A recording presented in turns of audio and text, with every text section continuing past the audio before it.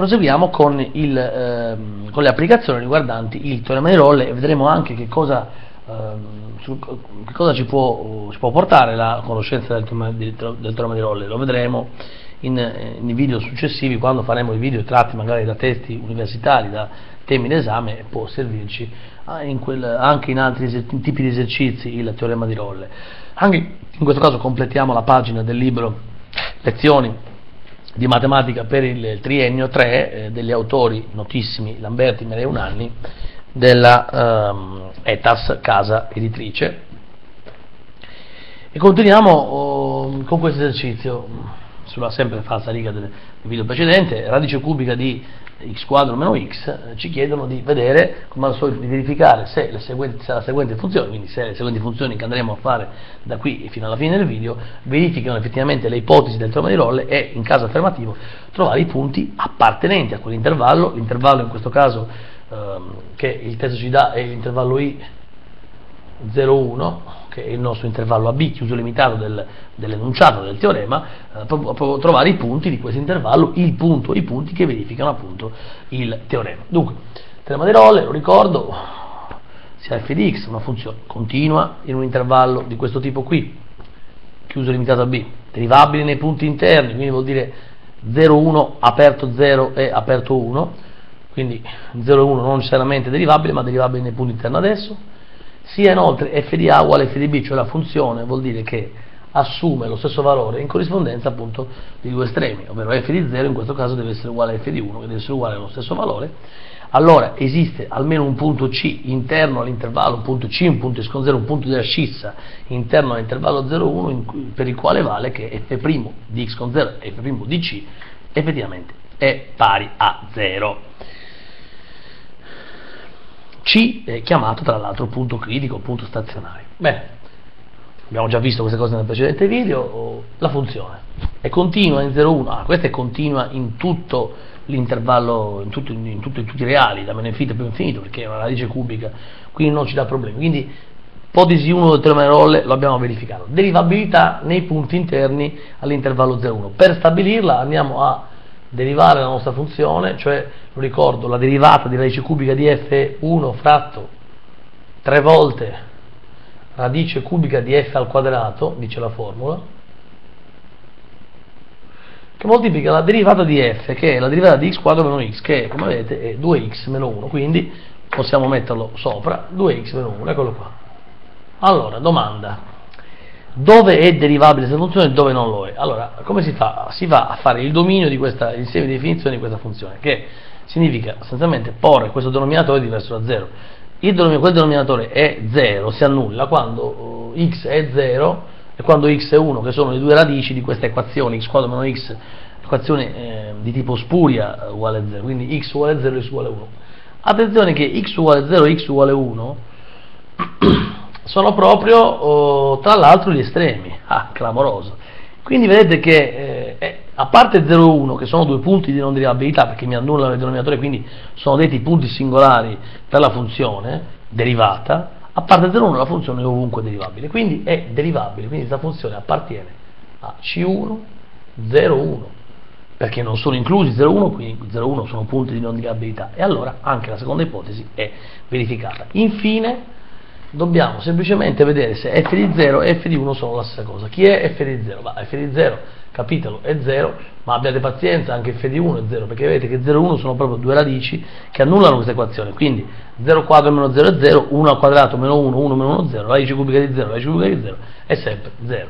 Le tre ipotesi del teorema di Rolle sono dunque verificate e allora vorrà dire che effettivamente possiamo dire che eh, calcoliamo la f' di c. La f' di x è 2x meno 1 fratto le 3 volte la radice cubica di, di x quadro meno x al quadrato, la f' di c sarà naturalmente è la stessa derivata dove al posto di x ci metto ad esempio la lettera c, 2c meno 1 fratto 3 volte radice cubica di c al quadrato meno c tutto al quadrato quando è che è 0 questo? È 0 quando il suo numeratore è 0, quando su 2c meno 1 è 0, 2c meno 1 è 0, quando c è uguale a un mezzo. Ed eccolo il nostro c uguale a mezzo che ci interessava. Andiamo a vederne subito un'altra. sono molto, molto ripetitivi questi esercizi, ma molti studenti non capiscono a volte come si risolvono, forse perché qualcuno non li spiega bene. 1 meno radice quinta di x alla quarta, benissimo. Anche qua, stessa domanda, vediamo. Allora, la funzione radice quinta di x alla quarta, oh, l'intervallo, questa volta è l'intervallo meno 1 e 1. Domanda, è continua nell'intervallo meno 1 e 1? Certamente, perché questa funzione è sempre continua ovunque bisogna vedere se appartiene a C1 a meno 1, 1 aperto, cioè se è derivabile nei punti interni dell'intervallo meno 1, 1. Per vederlo cosa facciamo? Andiamo a derivare la nostra funzione. Dobbiamo fare la derivata di una somma algebrica, derivata di 1 e 0, meno la derivata di eh, radice quinta di x alla quarta, che è un x alla 4 quinti, meno sta davanti, meno 4 quinti, x alla 4 quinti meno 1, 4 quinti meno, meno 5 quinti e meno 1 quinto. E quindi in pratica viene meno 4 fratto 5 radice quinta di x perché x alla meno un quinto passa sotto come 1 su x alla un quinto quindi radice quinta di x al denominatore. Notiamo come c'è un problema qui però. C'è un punto di non derivabilità che è il punto 0 il punto 0 sta in mezzo all'intervallo meno 1 e 1 e pertanto l'ipotesi B del teorema di Rolle non è verificata perché la funzione non è derivabile nei punti interni all'intervallo meno 1, 1, ma perché nei punti interni all'intervallo meno 1, 1 c'è un punto che è lo 0 in cui f non è derivabile, quindi per questa funzione non vale il teorema di Rolle. F di x uguale, f tale che x tende a x quadro meno 1 per L meno x quadro. Luca, se avete visto i video precedenti e se avete visto i video anche sulla derivabilità, vi, vi ho fatto vedere come, eh, controllate sempre se, allora, vedete che i punti sono uno il simmetrico dell'altro, uno l'opposto dell'altro, meno un mezzo e un mezzo. Allora, in questi casi, per prima cosa, si può controllare subito se la funzione è pari. La funzione effettivamente è pari, perché il quadro, il quadro meno 1 per E la meno x quadro, se io metto eh, la meno x al posto della x, mi viene che f di x è pari a f di meno x, il che significa che la f in un mezzo è pari alla f di meno un mezzo, no? Non mi interessa nemmeno sapere quanto vale. Quindi l'ipotesi riguardo fda uguale fdb del, del teorema di Rolle è verificata. Tra l'altro, la funzione che, che, insieme di definizioni ha? Meno infinito più infinito, ovvero la funzione continua ovunque e pertanto è continua anche in meno un mezzo, un mezzo, intervallo chiuso e limitato. Terza, terza ipotesi, derivabilità. Allora, se avete problemi sullo studio della derivabilità di una funzione, andatevi a guardare, ne ho fatti davvero tanti, di video, i video precedenti, quelli numerati dal, dal basso verso l'alto, i video precedenti, quindi quelli prima, proprio sullo studio della derivabilità di una funzione. Per studiare la derivabilità di questa funzione, no? Conviene derivarla. Per derivare x quadro meno 1 per L meno x quadro, dobbiamo applicare la derivata del prodotto. Derivata del primo, ovvero derivata di x quadro meno 1 che è 2x. 2x per E elevato meno x quadro, dove E elevato meno x quadro non è stato derivato, più della regola della derivazione del prodotto, ehm, x quadro meno 1 non derivato, per la derivata di E alla meno x quadro, che è e alla f per f' e alla meno quadro per meno 2x. Notiamo subito come possiamo raccogliere non solo un e alla meno x quadro, ma anche addirittura un 2x a fattore comune. Quindi raccogliamo 2x per e alla meno x quadro. Vediamo cosa rimane. Rimane 1, attenzione, meno, perché qua c'è un meno, aperta tonda, x quadro meno 1. Facciamo i nostri conti e la derivata è venuta 2x per e alla meno x al quadrato, vediamo come 1 meno meno 1 è appunto un 2, viene un 2 meno x quadro. Eccola qui la nostra derivata. La andiamo a scrivere lì. 2 x è alla meno x quadro che moltiplica 2 meno x quadro. Bene, ma questa derivata, come potete vedere, non ha punti singolari, perché non c'è un denominatore, non c'è un logaritmo, non c'è una radice pari, quindi questa derivata, anche questa, non presenta singolarità.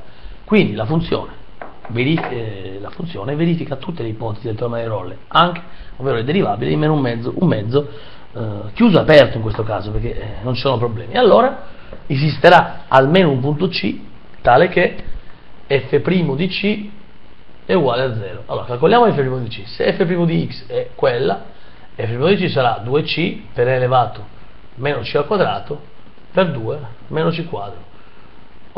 porre f' di c uguale a 0 vuol dire porre 2c per e elevato meno c al quadrato per 2 meno c al quadrato uguale a 0. Legge di annullamento del prodotto. 2c uguale 0, subito troviamo che c con 1 uguale 0. c con 1 uguale 0 lo prendiamo? Certamente che lo prendiamo perché c con 1 uguale 0 è, ehm, c con 1 uguale 0 è un valore che è compreso nell'intervallo meno un mezzo, un mezzo. Poi, e alla meno c quadro può essere 0? No di certo, perché l'esponenziale per definizione è solo e sempre positivo.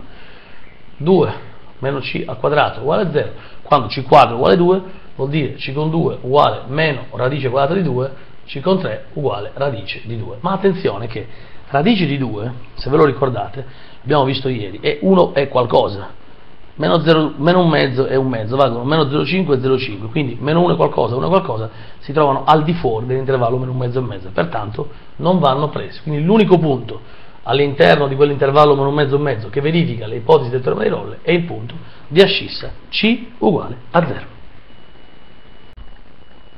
Dunque l'ultima funzione che poi dopo iniziano altri tipi, altri, altre tre tipologie di esercizio con i parametri vediamo questa funzione che è log quadro di x più log x, logaritmi naturali, nell'intervallo e alla meno 1, 1 su e 1, e alla meno 1 è 1, 1 fratto e, ricordo che è il numero di Nepero per le prime due cifre decimali vale 2,71, quindi 1, 0,336, insomma all'incirca se non mi ricordo male.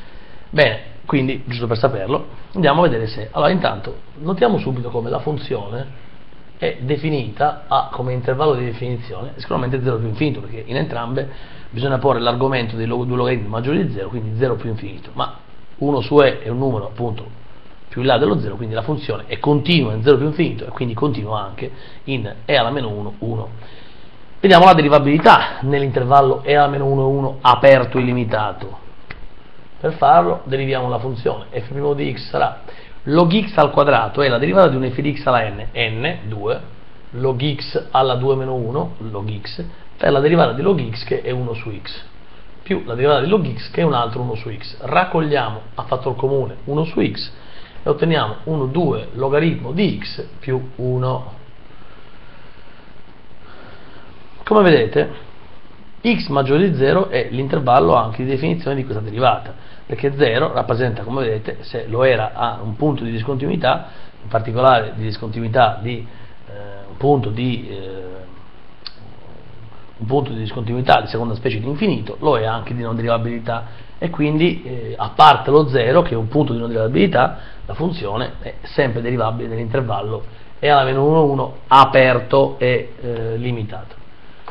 A questo punto la derivata scriviamo lì che ci servirà poi per eh, a questo punto le due ipotesi, quelle sulla continuità e la derivabilità, sono verificate, ecco la derivata che la scriviamo qui, dobbiamo vedere se f di A e f di B, ovvero f di E alla meno 1 ed f di 1 sono la stessa cosa. Allora, subito vediamo come la f di 1 va, faccia 0, perché il logaritmo di 1 è 0 al quadrato 0, il logaritmo di 1 è 0, 0 più 0, 0.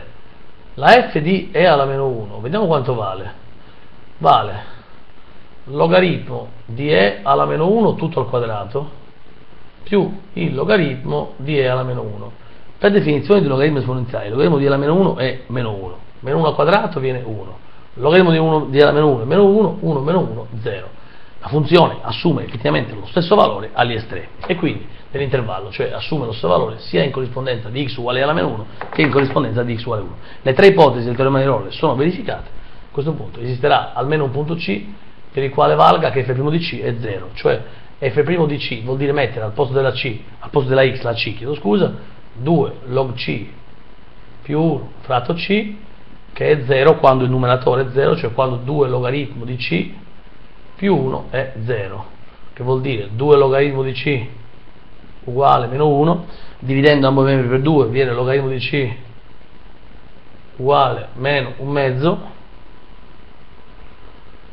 e quindi scrivendo meno un mezzo come logaritmo naturale di alla meno un mezzo eguagliando viene logaritmo di c uguale al logaritmo di e alla meno un mezzo risolvendo i rispettivi argomenti otteniamo che c uguale a e alla meno un mezzo o e alla meno un mezzo lo scrivo qua vale 1 su e alla un mezzo quindi 1 fratto radice di e domanda ma 1 su radice di e sta prima o dopo 1 su e? Beh, 1 sulla radice di e non può che stare dopo, cioè è un valore sicuramente più grande, perché radice di e è un valore più piccolo di e, visto che sta sotto, 1 su un numero più piccolo mi fa diventare questo più grande, infatti è 1,06 paragonato allo 0,3 dell'estremo 1 su e, e quindi c uguale 1 sulla radice di e è il punto che risolve il nostro esercizio.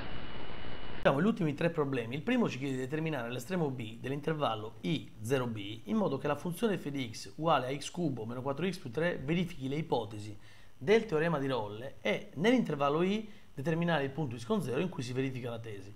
Il problema numero 2 ci chiede di determinare i coefficienti a, b c in modo che la funzione f è tale che x tende a meno x quadro più ax quando x è compreso fra meno 1 e 3 e bx più c quando x è compreso fra 3 e 5 verifichi le ipotesi del teorema di Rolle nell'intervallo i meno 1 5 e determinare il punto con 0 in cui si verifica la tesi. Inoltre ci chiedono di rappresentare graficamente la funzione ottenuta. Inoltre l'ultimo problema, il 3, ci chiede di determinare i coefficienti a, b, c in modo che la funzione f tale che x tenda a x quadro più ax più b quando x è compreso fra 0 e 2, cx più 1 quando x è compreso fra 2 e 4, verifichi le ipotesi del teorema di Rolle nell'intervallo i 0,4, chiuso e limitato, e determinare il punto con 0 in cui si verifica la tesi. Inoltre non è scritto, ma ci chiedono anche in questo caso di rappresentare graficamente la funzione ottenuta. Risolviamo dunque i tre problemi. Dunque rispondiamo al primo dei tre problemi. Ci chiedono di determinare questo coefficiente b, l'estremo destro dell'intervallo chiuso e limitato, eh, in modo che la funzione f di x uguale x cubo meno 4x più 3 verifichi le ipotesi del teorema di Rolle. Dopodiché ci chiedono come al solito di determinare eventualmente il punto con 0 che è appunto in cui si verifica la tesi. Quindi quel punto c, il punto con 0 che il testo chiama con 0, noi fino a questo momento abbiamo chiamato con la scissa pari a c, ma non cambia niente. Allora, quando dobbiamo determinare un'incognita, l'equazione da tirar fuori è una sola, ed è chiaramente questa. Uguaglianza deve risultare che f di A sia uguale a f di B.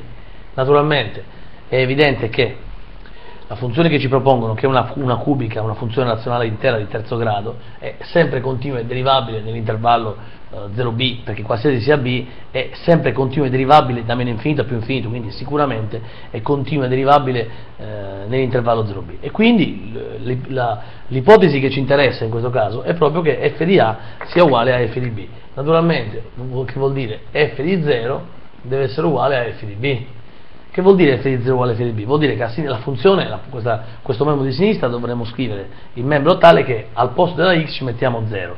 0 al cubo 0, 4 per 0 0, 0 meno 0 0, 0 più 3 3.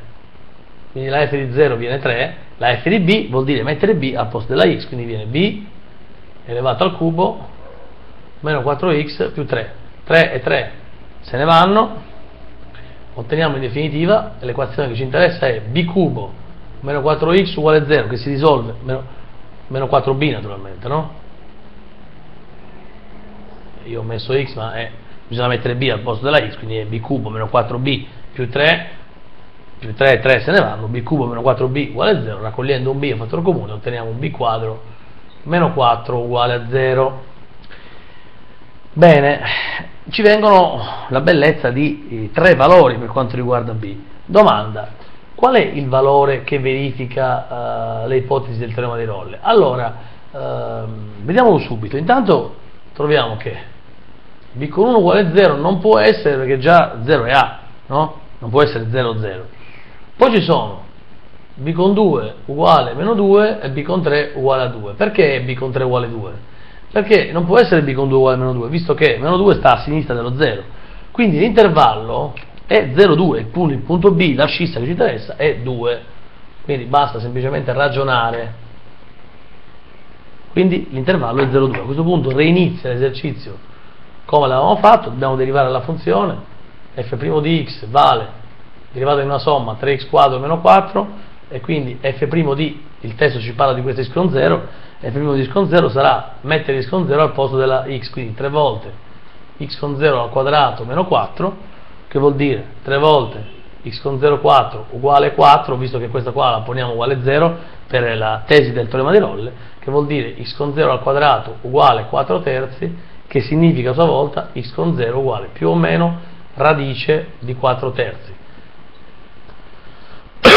che vuol dire? Radice di 4 fratto radice di 3, radice di 4 è 2, quindi viene che x con 0 è uguale a più o meno 2 fratto alla radice di 3 che si può lasciare così oppure se volete si può razionalizzare e quindi moltiplicando ambo i membri moltiplicando sopra sotto per la radice di 3 razionalizzando viene che x con 0 è uguale a più o meno 2 radice di 3 fratto 3 no, domanda, li prendiamo tutti e due? No di certo perché il valore negativo sta a sinistra dello 0 quindi non sta dentro l'intervallo 0,2 e quindi la risposta è x con 0 uguale 2 terzi radical 3 che è un valore appunto che sta sicuramente nell'intervallo 0,2 e quindi abbiamo risposto al problema numero 1. Bene, risolviamo il secondo esercizio che poi è uguale a quello dopo, sono uguali. Ci danno una funzione definita a tratti, meno, meno x quadro più ax definita quando x è compreso fra meno 1 e 3, bx più c che è una retta, quando, visto che questa è una parabola, questa è una retta, la dobbiamo rappresentare alla fine, quindi lo faremo, quando x è compreso fra 3 e 5. Dunque, l'intervallo evidentemente lo si vede è chiuso limitato in meno 1, 5. Domanda. Determinare ABC, eh, ci chiede il testo, eh, in modo che appunto la funzione verifichi le ipotesi del teorema di Rolle. ABC quante incognite sono? 3. Quante sono non a caso le ipotesi del teorema di Rolle? 3. 3 equazioni in 3 incognite. Tutto torna. E quindi andiamo a scriverci, a impostarci un sistema in 3 equazioni in 3 incognite. La prima equazione chi è? Beh, la prima equazione è che la f di meno 1 deve essere uguale alla f di 5, no? La seconda equazione è l'equazione relativa alla continuità. La funzione f di x deve essere continua nell'intervallo meno 1, 5. Affinché lo sia continua, notiamo che qui abbiamo un, un, un punto interno di ascissa all'intervallo meno 5, che è il 3. Quindi deve risultare che il limite per x che tende a 3 da sinistra di meno x quadro più ax deve essere uguale per la continuità del punto 3, quindi in tutto l'intervallo meno 1, 5, al limite per x che tende a 3 da destra di bx più c. Ora, derivabilità, stesso discorso, la funzione deve essere continua in 3, ma se è continua in 3 non è detto che non sia derivabile in 3 e quindi deve valere che il limite per x che tende a 3 da sinistra della derivata eh, in 3 da sinistra, che è, vedete, meno 2x più a, deve coincidere col limite per x che tende a 3 da destra della derivata di questa che è b. Eccole le mie equazioni, risolviamole. Allora, cominciamo f di meno 1. f di meno 1 vuol dire che meno 1 lo possiamo mettere, come ci dice il testo, a quella meno x quadro più ax. Quindi f di meno 1 vuol dire mettere meno 1 al posto della x nella f. Dunque, se mettiamo meno 1 viene a per meno 1 viene meno a, ehm, e ehm, viene che eh, meno 1 al quadrato è 1, ma col meno viene che meno 1 meno a. Eccolo qui. Dopodiché f di 5 vuol dire mettere 5 al posto della x nella f. Attenzione che però 5 questa volta lo mettiamo qui, lo mettiamo qui, viene 5b più c. La prima equazione è che meno 1 meno a è uguale a 5b più c. Limite per x che tende a 3 dalla sinistra di meno x quadro più ax, vuol dire mettere 3 al posto di, eh, della x di meno x quadro più ax. Eh, se mettiamo 3 viene eh, 3 al quadrato 9 col meno meno 9 eh, 3 per a viene un 3a meno 9 uguale limite per x da, 3, da destra di bx più c vuol dire mettere 3 al posto di b quindi viene 3b più c. 3a meno 9 è uguale a 3b più c. Limite per x 3 da sinistra di meno 2x più a vuol dire mettere al posto di x 3 meno 2 per 3 meno 6 viene a meno 6 beh limite x da destra di b è b uguale b. Che ci è venuto fuori? Un sistema in tre equazioni di tre incognite che andiamo a risolvere. Allora la prima la scriviamo tutta quanta scriviamo portiamo meno 1 meno a da sinistra a destra li cambiamo di segno otteniamo a più 5b più c più 1 uguale 0 poi cosa possiamo fare? Possiamo subito scrivere che dalla terza, che mettiamo come seconda, b è sicuramente pari ad a meno 6. Non solo, ma notiamo come se b uguale a meno 6, mettendo al posto di b a meno 6 nella seconda, otteniamo che 3a meno 9 è uguale a 3 che moltiplica a meno 6, stiamo operando un, classico, un facile metodo di soluzione, a meno 6 più, eh, a meno 6 più c, no? Ovvero, per adesso non sto toccando la prima equazione, quindi b uguale a meno 6 lo lascio lì, per adesso scrivo anche A più 5B oh, naturalmente eh, direi che se B è uguale a meno 6 posso dire che A più 5 che moltiplica A meno 6 più C più 1 è sicuramente pari a 0 da qui ottengo che 3A meno 9 è uguale 3 per A è 3A 3 per meno 6 è 1 meno 18 più C. Notiamo subito che qua 3A e 3A se ne vanno e quindi dalla terza equazione troviamo immediatamente subito quanto vale C. Troviamo che C vale trasportando il meno 18 da destra a sinistra diventa 18 meno 9 fa 9 C è pari a 9 abbiamo trovato che C è pari a 9 oh, se C è pari a 9 qui abbiamo tutta un'equazione in A in C mettiamo qui 9 otteniamo A 5 per A è 5A 5 per meno 6 è un meno 30 al posto di C mettiamo 9 più 1 10 uguale a 0 naturalmente qui abbiamo che A, B è uguale a meno 6 a questo punto possiamo trovare pure A abbiamo già trovato C, troviamo subito anche A C vale 9 ripeto, A quanto vale? vediamo Uh, A, A, più 5A è 6A, meno 30 più 10 è meno 20, portando meno 20 dalla sinistra a destra viene A uguale 20 sesti, se A è uguale a 20 sesti, A è anche uguale a 10 terzi, visto che 20 sesti eh, è semplificabile per 2, 20 diviso, diviso 2 è 10, 6 diviso 2 è 3, A è 10 terzi. Se A è 10 terzi viene che B è uguale a 10 terzi meno 6, ovvero 10 terzi meno 18 terzi se volete, quindi B viene pari a un meno 18, a un meno 8 terzi, chiedo scusa. C uguale 9, A uguale 10 terzi, B uguale meno 8 terzi. Andiamo a metterli lì, vediamo cosa viene. Allora, viene che A viene fuori, dunque la funzione è a tratti del tipo meno x quadro più ax, quindi meno x quadro più 10 terzi x e va bene. La seconda è una retta ed è bx meno 8 terzi di x più 9. Naturalmente eh, sono valori un po', un po' fastidiosi, noi andiamo a rappresentare, io mi vado a fare un grafico qualitativo, poi magari voi nel foglio ve lo fate meglio. Allora, attenzione agli intervalli, Dunque l'intervallo è chiaramente questo, no?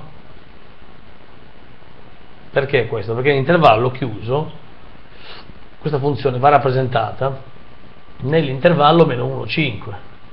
Quindi questa è l'origine, questa è la y, questa è l'asse delle x. Qui c'è meno 1 e qua c'è il 5.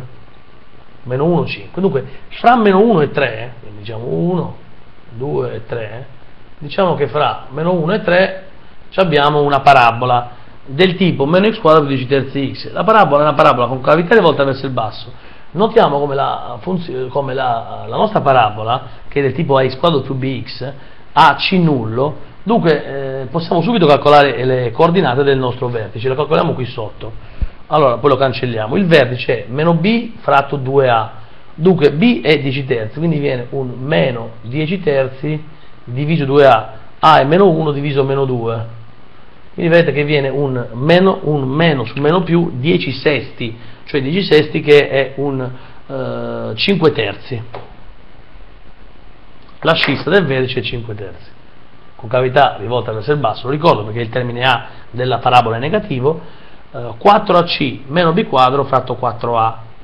Dunque eh, 4AC è nullo perché C è nullo, quindi viene meno B quadro fatto 4A l'ordinata del vertice. Anche in questo caso B quadro è in questo caso 100 noni, quindi direbbe meno 100 diviso 9 diviso meno 4. Meno diviso, no, meno diviso meno fa più. 9 per 4 36 viene 136 esimi. Dunque 136 esimi 136 esimi si può dividere per 4 naturalmente eh, 100 diviso 4, 100 diviso 4 è 25, viene 25 noni l'ordinata del vertice, eccola qua, entrambi positivi, quindi il vertice sta in effetti nel primo quadrante, con cavità rivolte verso il basso, tra l'altro la parabola incontra, ehm, se io la pongo pari a 0, incontra mm, l'asse delle x eh, nel, eh, incontra l'asse delle y nell'origine e incontra eh, anche l'asse x nell'origine. E nel punto, vedete, ehm, se, va, se vado a annullare, allora, intanto, intanto ci troviamo il vertice, il vertice è 5 terzi 25 noni, no, 5 terzi è un 3 terzi più 2 terzi, quindi un pochino più di 1, quindi diciamo che sta un pochino qua, eccolo qua, 25 noni è ehm, quasi un valore pari a 3, non, non, arriviamo a 3, quindi diciamo è un vertice che sta lì in alto, eccolo qua, questo è il vertice, facciamo finta che sia lì.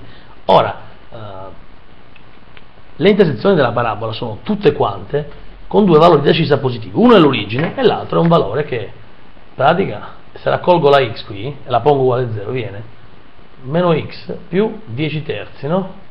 Meno x più 10 terzi uguale a 0 quando x è uguale a 10 terzi, ovvero un valore un pochino più avanti del mio 3. 10 terzi è un valore più grande del 3, quindi in pratica la, la mia parabola fa così, faccio intratteggio, ecco, naturalmente sta qui qui naturalmente non ci arriva, quindi il grafico della parabola tra 1 e 3, diciamo, in definitiva è, è, è questo qui. Ecco, una cosa del genere. Naturalmente vedete, arriva fin qui perché poi da 3 in poi c'è un'altra uh, figura ed è la retta y uguale eh, meno 8 terzi più 9 che è una retta parallela alla retta y uguale meno 8 terzi x, che è una retta naturalmente che ha inclinazione eh, più verso l'asse y da questa parte, traslata del punto 0,9. Quindi la mia retta è una retta che fa così, no? Perché sta in alto, diciamo che ha un andamento all'incirca così. Ecco qua, questa è la mia retta. Vedete come in effetti qui abbiamo qui proprio un salto, abbiamo un salto, quindi attenzione evidentemente al, al, salto della mia funzione, è evidente come la funzione, vedete, in corrispondenza di questi valori però, eh, in realtà io ho fatto oh, la figura, ma io per, quello abbiamo, per, quello che abbiamo, fatto dovrei farla continua, no? come ho fatto io c'è un salto, quindi diciamo che se vogliamo rappresentarla bene la mia curva, visto che io i valori di... Eh, a uguale 10 terzi, B uguale meno 8 terzi, C uguale 9, la funzione deve essere continua in 3, cioè in pratica deve fare così. Poi da qui, ecco, dovrebbe essere una cosa di questo genere qui, dove qui c'è 3.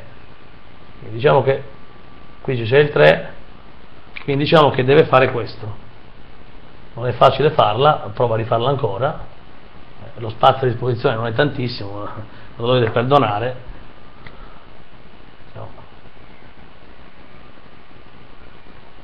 sta in alto ecco diciamo che così forse va meglio eh? adesso la faccio in rosso. Oh, cancello naturalmente la mia funzione altrimenti non ho spazio. Queste cose tanto non le fa nessuno come vedete.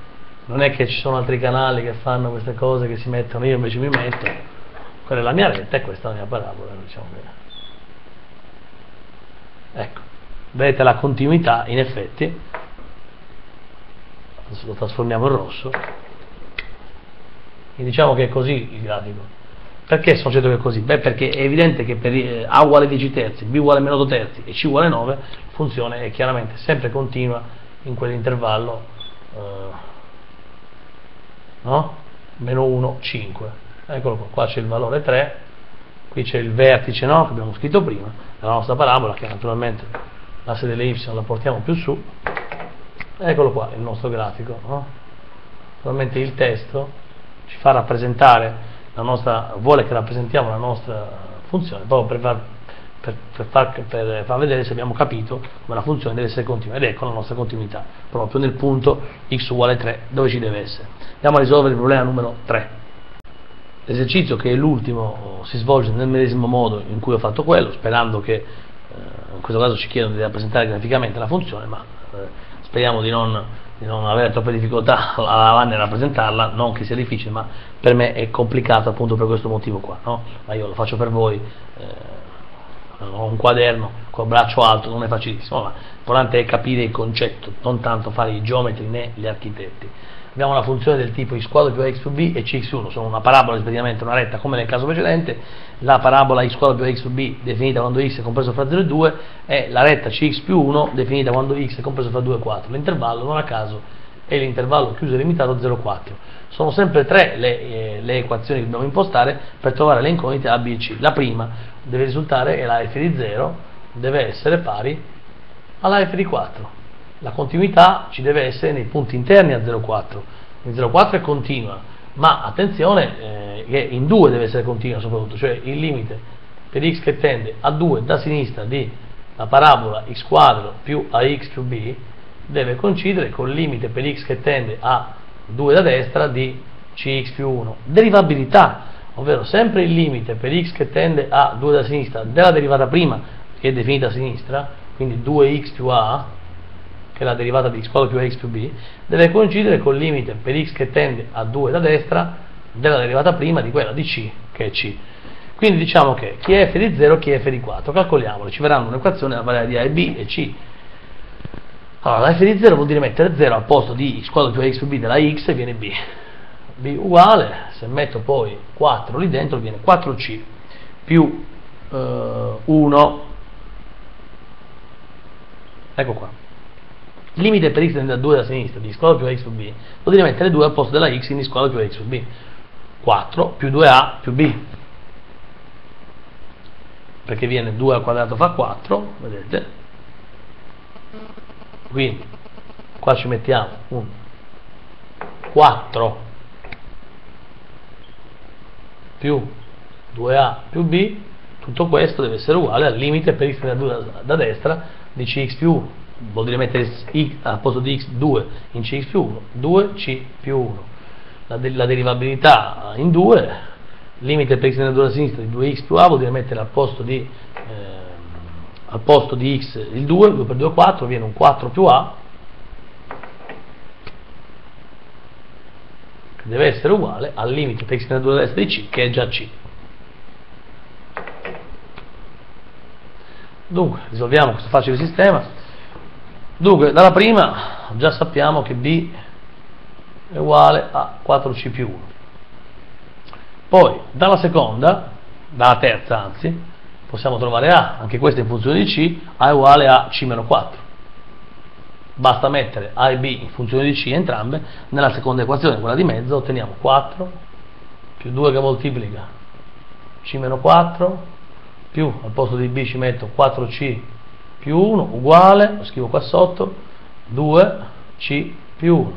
Allora, concentriamoci sull'ultima equazione che è tutta un'equazione di una variabile, una variabile c che è 4, 2 per c viene un 2c, 2 per meno 4 viene un meno 8, poi viene un 4c più 1 uguale 2c più 1, 1 e 1 se ne vanno, abbiamo che 4 meno 8 fa meno 4 dall'altra parte diventa 4 come vedete troviamo che eh, 2c più 4c fa 6c 6c meno 2c è 4 viene 4c uguale 4 possiamo dire che lo si vede bene c è uguale a 1 abbiamo trovato quindi dalla, da questa equazione che c è 1 se c è 1 viene che a uguale a 1 meno 4 quindi a è uguale a meno 3 ma se c è 1 4 più 1 4 più 1 5 b è uguale a 5 abbiamo trovato questi valori andiamo a mettere e possiamo disegnarci. E a questo punto io tremo non perché ho paura di disegnarla ma perché speriamo di non fare troppi casini. Allora se C è 1 la retta per fortuna è facile x più 1 magari questi sono valori di frazioni sono valori un pochino più fastidiosi.